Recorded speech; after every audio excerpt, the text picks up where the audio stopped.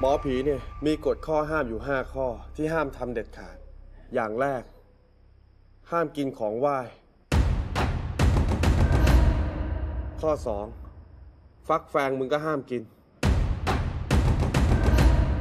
หมอผี ห้ามเดินลอดราวตากผ้า ข้อสี่